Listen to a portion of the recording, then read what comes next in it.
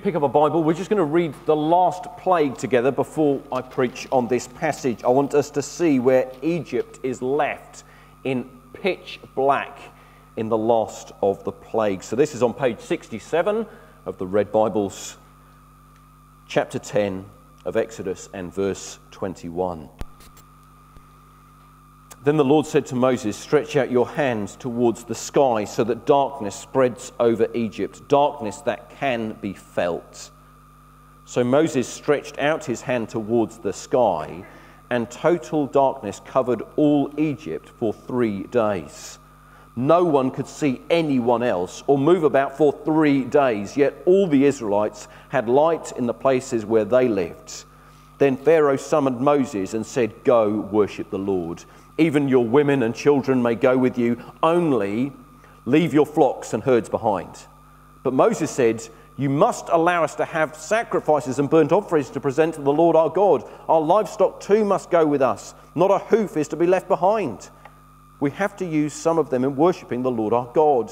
And until we get there, we will not know what we are to use to worship the Lord. But the Lord hardened Pharaoh's heart and he was not willing to let them go. Pharaoh said to Moses, Get out of my sight. Make sure you do not appear before me again. The day you see my face, you will die. Just as you said, Moses replied, I will never appear before you again. Let's pray. Father, these are difficult verses to read as we see your hand of judgment fall upon the nation of Egypt and particularly upon Pharaoh. But please, our Father, would our hearts be nothing like His? Would they not be hard, but might they instead be supple and recipient to all that you have to say to us? Please teach us. For Jesus' sake, we ask it. Amen. Well, we're back in Exodus and we have arrived at the plagues. I don't know how many of you caught your interest last night that Tyson Fury, the man who was two years ago heavyweight world champion, was back in the boxing ring after a two year break. It's been a turbulent two years, but he was back in the ring fighting an Albanian man called Sefer Seferi. Um, he was expected that he would win. The, the pundits that I listened to yesterday said he'll win in the fourth round. So he won between the fourth and the fifth round. It was all pretty predictable because Tyson Fury was known to be so much a better boxer. It was a boxing bout with the tables seemingly tilted in an obvious direction. And yet, whenever you watch sporting fixtures of any kind, you know that even when it's a million to one, there's always that little chance, isn't there? That little chance that the underdog might win. Sefer Seferi, maybe he'll land something on Tyson Fury, maybe he will turn the tables. So it didn't happen last night. And as we come to the plagues, there is, there's a little bit of an echo of a boxing bout going on here. A little bit of an echo. Because we find ourselves in the midst of 10 rounds with the Lords contending with Pharaoh. But while there may be 10 rounds, while there might be a contest going on, really the lines of comparison between a boxing match and the plagues here all cease. Because really, there is no chance. Pharaoh has no chance here in contending with the God of heaven. This is totally one sided. Victory is certain for the Lord's. And as we approach our passage today, we're going to be looking specifically at the first nine plagues. And we're going to look at them under this simple heading Nine plagues and one king. Nine plagues, one king. And what is abundantly plain in our passage is that the God of heaven the God of Israel, the God of our Lord Jesus Christ, is the only king of all. He's the only creator, and he is the most mighty and powerful king that there is going. Our passage is not to give us a, self, a sense of self importance as we come to it today. Instead, it is to cause us awe and wonder and worship as we see God in his greatness, working for the rescue of his enslaved people. It's a bit like if you've ever been to the Alps you don't ever go and stand before an enormous mountain in order to gain a sense of self importance, do you? You instead, you just go, oh my goodness, this is just, I'm so small, and this is just so huge. And, and you're, you're gobsmacked what God has made. You're gobsmacked at the greatness of our world. And as we come to our passage, there, there is a desire within me that each of us would be, would be amazed, that there would be a sense of awe and worship and wonder as we see God revealed as the great and mighty God working to rescue his people out of slavery. Now, so far in the book of Exodus, we've found God's people slaved, killed, and under the brutal regime of Pharaoh. Moses has been provided by God to be the savior of his people, but it's not until the age of 80 that Moses is in Pharaoh's court for the showdown. Seems that we've had a long lead in. But as we saw last week, as we looked at chapter 6 and verse 1, there's a new word uttered from the lips of God. He says, Now, now rescue is coming. Now rescue is coming. Now everything is changed. And we find as Moses go, and Aaron go back to Pharaoh time and time again that there is a command issued let God's people go. Should Pharaoh comply, he'll lose his million strong slave force that are working hard for him. But as we will see, should he not comply with the command that God gives him, he will see his slaves go across the horizon he will see his nation, Egypt, ravaged and broken into pieces. He will see the Israelites made wealthy as the Egyptians just throw money at them. He'll see his nation broken and bankrupt, and he will see himself dead in the bottom of the Red Sea should he not comply. Because he is standing against someone he cannot contend with. He is standing against the God of heaven. This morning we're going to deal with the first nine of the plagues. My intent is to move quickly. And then next week, as we have our all age family service, we're going to see what happened on that last plague, the plague of the firstborn, where the Passover lamb was provided. But we're going to see first, as we work our way through these nine plagues, what's going on. And my hope is that we get a sense of wonder at God's greatness and power. We would be awestruck at who He is. Now, if I was to sum up, what's, what's the big point of this passage in a sentence? I think it would be this it's to say the Lord's confrontation with Pharaoh reveals that the Lord is the only God and King. The Lord's confrontation with Pharaoh reveals that the Lord is the only God and King. And I think that is made most plain in these two verses in chapter 9, verse 15. Uh, why, why so many plagues? Why not just wipe Egypt off the face of the planet and set your people free because God wants people to know that He is the only God. The Lord wants the world to know that He is the only creator and king. For by now I could have stretched out my hand and struck you, Pharaoh, and your people with a plague that would have wiped you off the earth. But I have raised you up for this very purpose, that I might show you my power and that my name might be proclaimed in all the earth. God is trying to show himself as the great God so that people might recognize that opposition to him is foolish, futile, and deadly and his people would realize that this God is the God to trust. Well, let's walk through the plagues, shall we? And we're going to try and do, I'm going to try and do this quickly. I mean, if this is a nine-point sermon, we're looking at kind of at least an hour and a half here, aren't we? And the problem is there are two more points after the plagues are done. What's that? Uh, long. We're going to try and move quickly. Have nimble fingers. Please pay attention. Please stay with me. I will do our best. But before we get to the nine plagues, we need to recognize that there's a there's a prototype plague that turns up.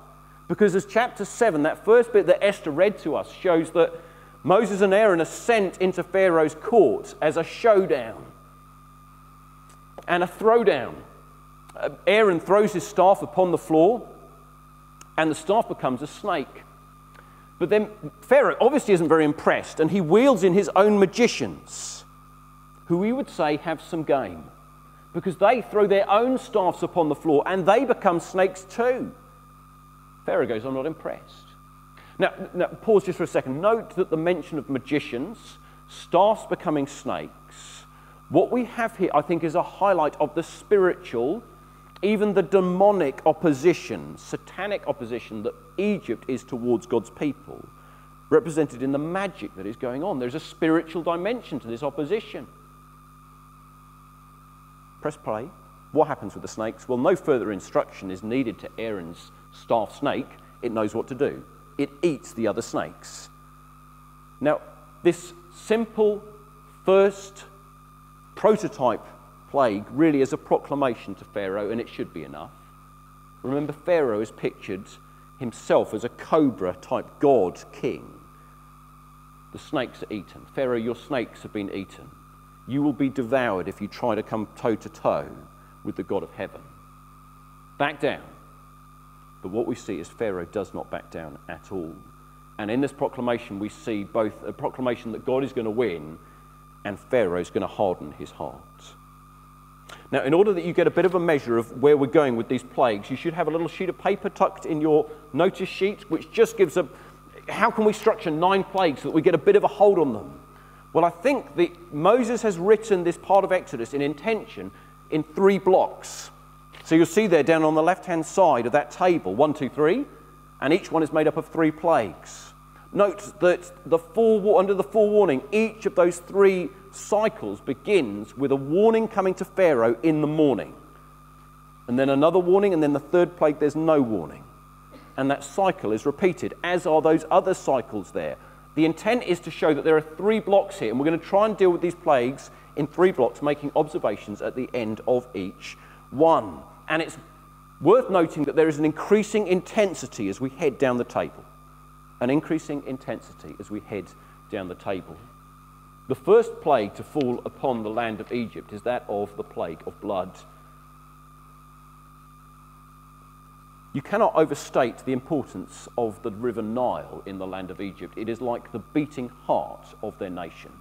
It is the place where drinking water is found, where food is provided through the fish. It is the place that irrigates their land so that their land is fertile and produces food. It is a source of trade. And yet, when Pharaoh refuses to comply with the instruction, let God's people go, God stops Egypt's beating heart and fills it with blood. And what is the result? Well, we find that the fish die. It stinks. You smell it smell of rotting blood throughout the land. Everywhere that there is water, there is blood.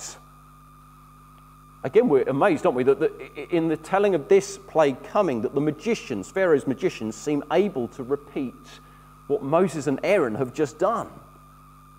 They also are able to make blood from water. How does Pharaoh respond? We're simply told that his heart is hard. He just doesn't, I don't want to notice, move on. Seven days pass until the blood starts to go. They dig a new trench along the river in order to find clean water. Horrendous blight upon their country. Their heart is stopped for a week. Then, plague number two frogs. There were pictures of frogs that I think made you sick that I could have put up here. I'm just going to give you two. And I don't even know if they're real or not. There we go. The second plague turns up seven days later, and it would have been stomach churning, spine tingling, revolting because now the land is overrun with frogs. Again, in response to Pharaoh refusing to let God's people go, the Nile is again the source of fear and judgment upon the nation of Egypt. Everywhere you put your foot, it lands on a frog. Every time you boil your kettle, you kill another frog that's managed to get in the kettle.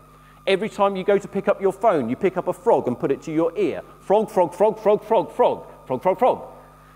Frog. Frog? I mean, it, it made I Spy dead easy, wouldn't it? I Spy something beginning with F. Okay, okay. You'll go. I, enough. Now, at first, this might appear amusing, mightn't it? But note that there is a sinister edge to what is going on here. This land is being ruined. This land is falling under the judgment of God. Again, note that the magicians, they've got some game. You do frogs, we do frogs. But note that the magicians are just like little children because they know how to make a mess, they don't know how to clean it up. And so when the frogs just become far too much, who does Pharaoh call in to help him? He calls in Moses and Aaron because he knows his magicians can make a mess, but they can't clear it up. And Pharaoh pleads, Take the frogs away. But note his stubbornness here. Because Moses says, Sure thing, you give me the time. If I was Pharaoh, I hope I'd have gone, Do it right now and do it quick. But Pharaoh doesn't. In verse 10, we are told that Pharaoh basically says, We'll have the frogs for another day, and then you can take them away. He says, Take them away tomorrow. What is, he, what is going on in this man's brain? What is going on in his heart? He is refusing to acknowledge that God is striking him. Enough of the frogs. Now we find the land is filled with gnats. Note here, there's no forewarning that comes when the gnats appear, just the dust is struck. Never been to Egypt. I'm pretty sure Egypt has a lot of dust. They would have had more than a lot of gnats. You wouldn't have been able to walk down the road without breathing in umpteen gnats. It wouldn't have just been on a bike that you'd have kept your mouth shut. You'd have surely worn a bandana across your mouth and you'd have glasses and hats and everywhere. Gnats were just everywhere.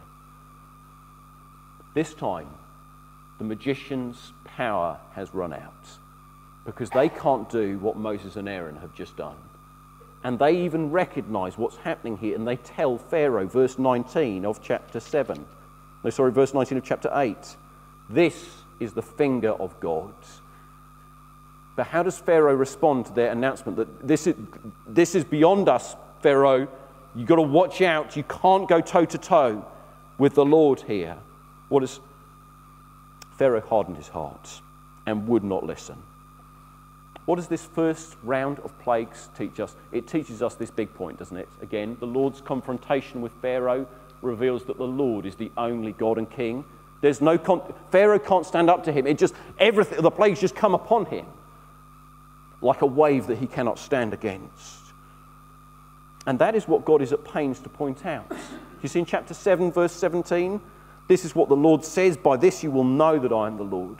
Chapter 8, verse 10, it will be as you say, so that you may know that there is no one like the Lord our God, he says, as the, he promises that frogs will go. And how does God show that he is the only God and King? Well, he does it by showing that he is the creator. But instead of making creation here, he is unraveling creation. The language actually throughout all of the plagues, but it's here especially in these first three plagues, is an utter inversion of the language we find in Genesis 1 and 2, where God makes everything. So before in Genesis chapter 1, we find that the water of the seas and the rivers teem with life. They produce fish of every kind. Here, the blood comes in the river and it kills fish of every kind. In Genesis, we see that the water teems with abundant different life, but here it just teems with frogs that aren't good for food and just good for burning, so it would seem. And then in this plague of gnats, did you note what was struck to make gnats? Dust. From where did Adam come? From the dust he was made. Whereas now the dust assaults him, a clear indication that death is coming and creation is being unraveled. I can, I can knit. Did you know that? I, I can't knit. I can de knit. You give me a piece of knitting, I can undo it fast as anyone. That is what God is doing here. It's sobering, isn't it? He's pulling the thread. But he, I can't do that with creation, neither can you. But he is proving, I am the creator. I'm the only God here. Pharaoh, you must humble yourself. And we see echoes here of the Lord Jesus. Although the Lord Jesus comes, he doesn't come to decreate, does he? He instead comes to give us a foretaste of the new creation. You see that in, in his miracles, he shows that he is the only God, because as he turns water into wine, he shows the party that's coming in heaven for all who will trust him. As he heals the sick, as he raises the dead, he says, There's a new creation coming. I'm the creator. I'm the only creator. You must bow the knee to me. We should be awestruck at God's power here in Exodus and also in his Son. Round one done. Round two. Three more plagues tied together. And we see that the land, as Pharaoh says, you ain't going anywhere, guys, is blighted with flies. Now, I grew up on a farm um, with livestock. We had pigs, we had poultry. Um, and I, knew, I know what it's like to have a kitchen in which there are more than a few flies. And we had a masterful technique with dealing with flies. It happened at least once a day during the summer. You'd close every door and every window and you'd fill the room with fly spray. And the flies got it. 30 minutes later, you return with a broom and you sweep them up. If you and I were in Egypt when this plague falls upon the land, we would need 10 times the amount of fly spray, and we would not need a broom, we would need a shovel and a wheelbarrow to clear the kitchen. Imagine that shoveling out the flies. Again, everywhere you put your hand, you squish flies. Every time you go to brush your teeth, the flies on your toothbrush. Everywhere. Horrendous. And what is the result here? Well, the result is in chapter 8, verse 24, the land was ruined by the flies. We're starting to see that Egypt as a nation is being broken in God's hands. And Pharaoh appears just in an instant to have a change of heart, suggesting that Israel can go and make their sacrifices. But once the plague is lifted, once Moses and God has been merciful upon him, Pharaoh changes his mind and hardens his heart. The fifth plague would have brought upon Egypt economic ruin and famine too, because back in those days you didn't keep money, you showed how much money you had by how many cattle or sheep you owned. This was your banking system back in the day. But here, should you refuse, Pharaoh, to let my people go, we will kill your livestock. He refuses. And can you see the scene? There's the farmer rushing, the Egyptian farmer rushing around his field, nursing one cattle, trying to bring it back to health and to life, only to see it die. And he runs to the next cattle over here, and he nurses that one, only to see it to die. And then he's over here, and all the way around the country, cattle are just dying. Farmers are farmers, cattle farmers love their cows. They are weeping and gnashing their teeth. They are falling to bits. Egypt is being ruined. But Pharaoh won't change his mind. Um, you'll be glad I'm not going to give you a picture for this one. You, boils. Because now no warning comes, but instead Moses and Aaron, they're given peculiar instructions on this one. Did you see? There's not dust to strike. This time they're to go where? They're to go to a furnace or to a kiln and there pick up soot and throw it in the air, and this will become, but break out as festering boils, pussy, oozing, painful boils all over Egypt and all over the people. All of them. You see Pharaoh in his court on his throne, covered in boils. See his magicians covered in boils, in agony. They cannot stand before Pharaoh. You see the servants and the slaves of the land, at least those who are not Israelites, covered in boils. Why mention of the furnace or the kiln? It should be a clear echo of the bricks that Israel were forced to make. And here, the fact that Moses and Aaron are sent to the kiln is to say, actually, what is happening here in these plagues is an act of God's holy judgment for the wickedness of Pharaoh and his people as they have enslaved and brutally treated God's children, his people. Another round of plagues flies, livestock boils. What does it teach us? Again, it teaches us this big thing. In the Lord's confrontation with Pharaoh, it reveals that the Lord is the only God and King. Pharaoh can do nothing. He's the most powerful man God the world has to offer at this point. He can do nothing. He is no boxer. He, is, he cannot go toe to toe. What should we note from this second round? Note particularly this is that there is a real differentiation now. God is at pains to say all of this is just falling on Egypt and it's not falling on my people. So if you were to look to chapter 8 and verse 22, I will deal differently with the land of Goshen, where my people live. No swarms of flies will be there, so that you will know that I, the Lord, am in this land. Then on to chapter 9 and verse 4 the Lord will make a distinction between the livestock of Israel and that of Egypt. And then it's implied that the boils just fall upon the Egyptians and not the Israelites. God is saying, I am God's and I love my people. And we should note, we should watch the Israelites relieved of these plagues. Because God is saying, I am this mighty king for your good. And the same might and power that he exercises is exercised towards us as his people. As he sees us struggling, he says, I am, Do you see who I am? I'm the great God who loves you. Make a differentiation between you. I, I love you. Does that mean we go through life without suffering and pain? No. But in God's mighty power, it does mean that we have the one alongside us that we desperately need to help us. Final round. You ready for it? Three more plagues. And we start as we enter here. You must note, I had Doug read these final rounds of plagues, the, the hail and the locusts, because there is a massive ratcheting up of the intensity of what is going on. There's a totality of the destruction that comes. So that when the hail falls, chapter 9, verse 25, hail struck everything in the fields, both people and animals. It beat down everything growing in the fields and stripped every tree. And then the locusts come and seem to devour everything as well. Chapter 9, verse 15 they covered all the ground until it was black. They devoured all that was left in, after the hail, everything growing in the fields and the fruit on the trees. Totality of judgment and plagues come. Uh, but note that even as the hail is threatened, again Pharaoh is told, let the people go. Relief can come. Let it go. Let them go. If you don't, hail will come. And God even senses the ferocity of what is coming. And so he warns, he says, bring your animals in. Moses says, bring your animals, your people in, bring them in.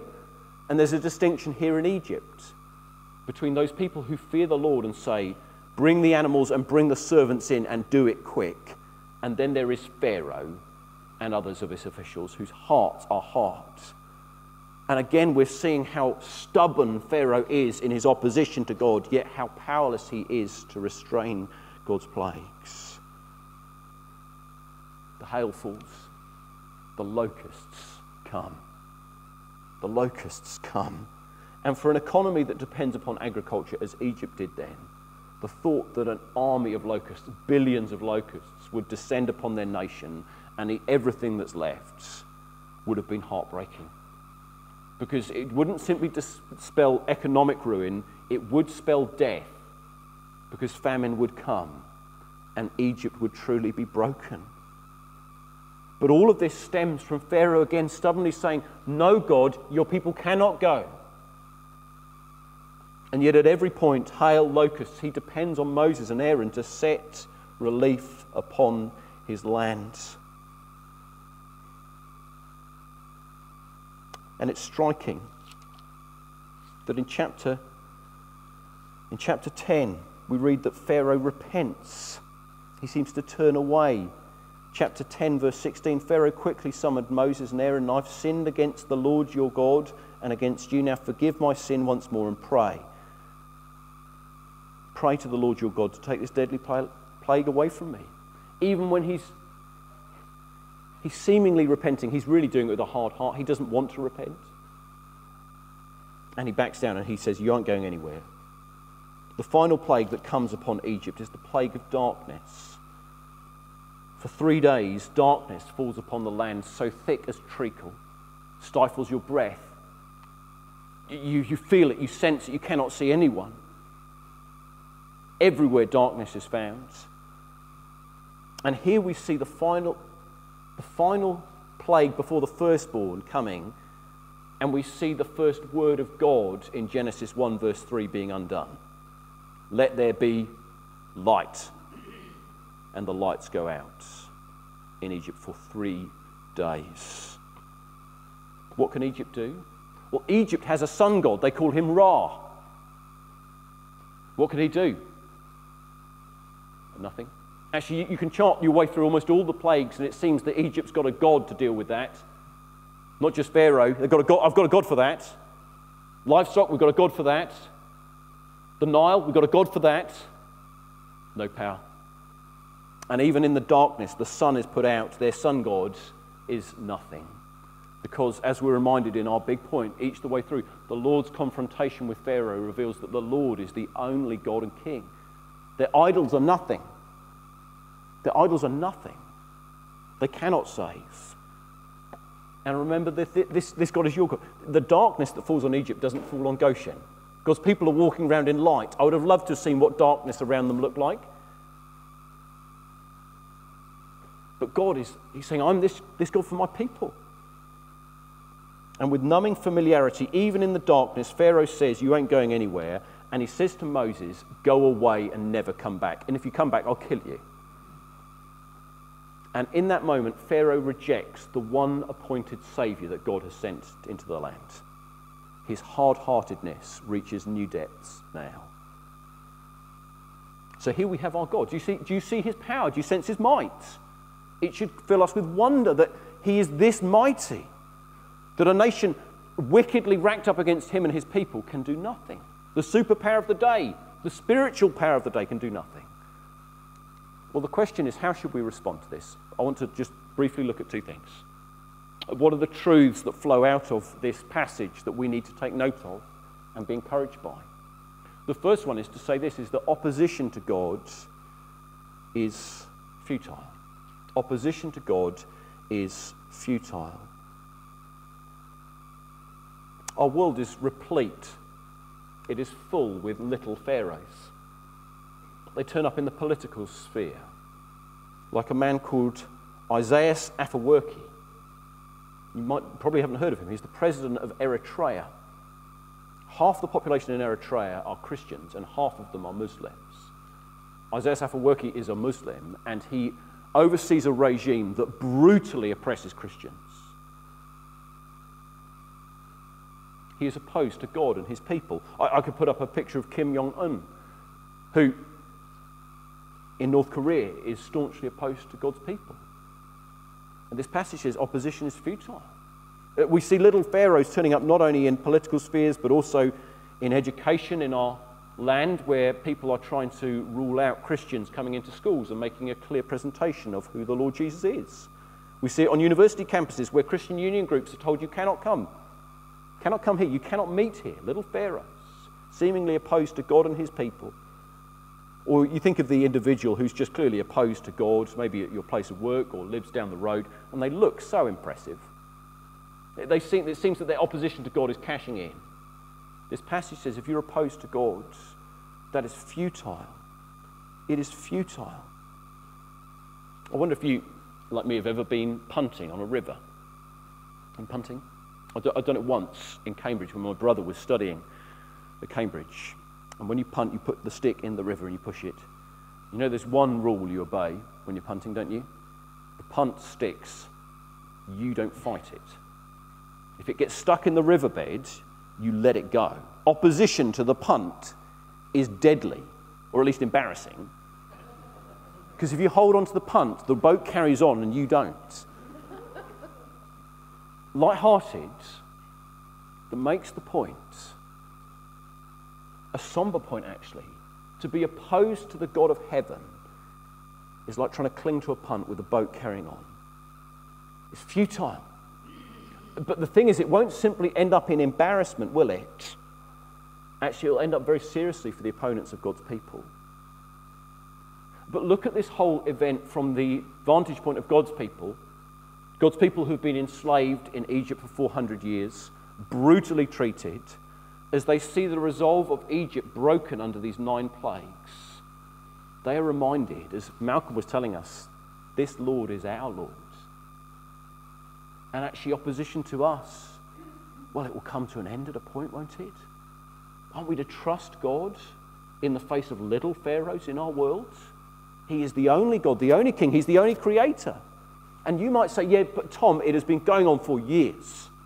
People in Eritrea will tell us it has been going on for years. It doesn't stop the fact that opposition will end. The Israelites could say this has been going on for centuries, Moses. Doesn't mean the opposition won't end. Doesn't mean that the Lord is not the true God and King. He is. Opposition is futile. But secondly, we'd say, we'd say this opposition is deadly. Opposition is deadly. Pharaoh stands as a unbelievably clear warning to you and me as we look at this passage of the deadly consequences of opposing God. Because he ends up, rather than having presided over his country to care for it, in breaking what he was responsible for, and it will end up in his own death as he will be buried at the bottom of the Red Sea, as we'll see in a couple of weeks' time. And he is a warning not to oppose God and to keep doing it. And the really sobering thing is, is that as he persists in his opposition to God, what happens to his heart? Hard and harder and harder.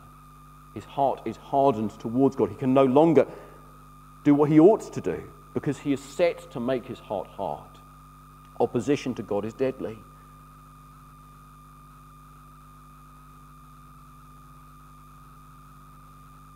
The difficulty comes, doesn't it?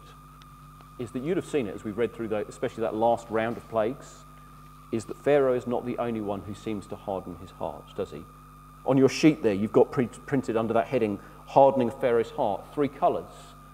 Because there are three ways in which Pharaoh's heart is described as being hardened. It's described simply as being hard. It's described as something that Pharaoh himself makes hard in the red, and then in the blue, it says that the Lord hardened his heart. And as we read our passage, we see all three of these things turn up. Did you look at chapter 9, verse 34? We see these three things all laced together. When Pharaoh saw that the rain and hail and thunder had stopped, he sinned again. He and his officials hardened their hearts. So Pharaoh's heart was hard, and he would not let the Israelites go, just as the Lord had said through Moses. Then the Lord said to Moses, Go to Pharaoh, for I've hardened his heart and the hearts of his officials. Throughout this passage, there seem to be parallel causes running, don't they? Like two rivers flowing into the same ocean. Parallel causes. There's Pharaoh and there is God. How are we to fit these things together? How are we to understand what's going on here? Now, some people want to say that actually, no, God only hardens Pharaoh's heart in response to Pharaoh's own hardening. And they just list how Pharaoh responds in the plagues. So, starting at verse 7, verse 13, the first person to harden Pharaoh's heart is, chapter 8, verse 15, Pharaoh. And they're just saying God's just hardening Pharaoh's heart because Pharaoh's chosen to do that already. The difficulty comes is that I don't think that does justice to what the Bible says Do you see two references? Chapter 4, verse 21, chapter 7, verse 3 seems to suggest that God is intent on hardening Pharaoh's heart from the outset. This is uncomfortable, isn't it? How can this be? I think this is uncomfortable because we think, well, who is responsible for Pharaoh refusing to let God's people go? And we seem to have what is a seeming paradox in Scripture is that Pharaoh his heart is ruled by the God of heaven, and yet he is utterly responsible for his own actions. Divine sovereignty, yet human responsibility. But how can we fit these? Well, there, there are three things that we need to assert are true here. First, that Pharaoh at no point appears to be forced to do what he doesn't want to do. He, does, he's, he is doing exactly what he wants to do. Secondly, Pharaoh's guilt before God is genuine because of the way he's acted. And thirdly, although God's hand makes him sovereign, he never is responsible for the wickedness that Pharaoh does. Now, our finite minds get blown up when we try and fit the, all those things together because in our limitation, we cannot see how they fit. Yet, repeatedly in Scripture, God says that they, they are there and they call for humility from us. And the reason why they call for humility is because God is saying, You can't understand everything. You can't understand. You can trust me. And we have more than enough reason to trust God because we have seen Him give His best, His Son, for us. And God says, I am not like you. I'm much greater than you, but you can trust me. How do these things fit together? I think that this is also humbling because we recognize actually that God's power is total, His authority is total. We, we, we want there to be parts of, I certainly want there to be parts of my life in my sinful thinking that's off limits to God. You can't come here. This is my domain, thank you. And I think humans naturally want our, our decisions, everything, to say God doesn't have any say here. The Bible says He does actually. God is the God of heaven and He's the God of hearts. That doesn't diminish our responsibility in the choices we make, doesn't mean our choices aren't real and genuine. Actually, the Bible seems to repeatedly present and say, hey, listen, here's the offer of forgiveness, respond to it, and it gives us real choices to make. But what stands behind it is God's loving, sovereign action. Now, you and I can read about Pharaoh here, and we can be afraid, can't we? We can think, well, if Pharaoh, if God said this about Pharaoh, then has he said it about me or about someone I love? The Bible never discloses that to us. And actually, the Bible makes clear that the opportunities to respond to God's gracious offer of forgiveness is extended to us. And the Bible, God pleads with us through Scripture, through His people, to respond to the offer of forgiveness. And when we do that with humility, what we find is that we receive God's favor and His kindness. God loves humble people. And yet, unseen behind it all is God's sovereign loving care. He is sovereign over heaven, He's sovereign over hearts. And all of this calls for humility before us, from us before Him. We can find it difficult to comprehend that humans are responsible, yet God is sovereign. Yet both things are asserted as true. And they're seen most clearly in the death of the Lord Jesus, aren't they? Remember that Judas, for love of money, what does he do to Jesus? He sells him. He is sinful. He is responsible for what he's done. And yet we're also told in Acts chapter 2, verse 23, that Jesus being handed over was God's deliberate plan and foreknowledge. He planned it, yet Judas was responsible. All of these things call for humility. Humility before the God who has been abundantly shown to be the God who is the only King in our passage, and we are called to trust him. We're called to trust him and to love him and to live for him, and we're to do so humbly and dependently. We're going to see next week that faith in God is essential as we see the Passover lamb slain, and we're going to see the Israelites are far from perfect, but they are saved. What does our passage show? It shows this repeatedly that the, in the Lord's confrontation with Pharaoh, the Lord is the only God and King. You and I are to be people who trust Him, who love Him, who live for Him, and who recognize that opposition to Him is futile and it is deadly. He loves His people, He will guard and protect them. Let's be people who love Him, worship Him, and live for Him too. Let's bow our heads. Let's pray.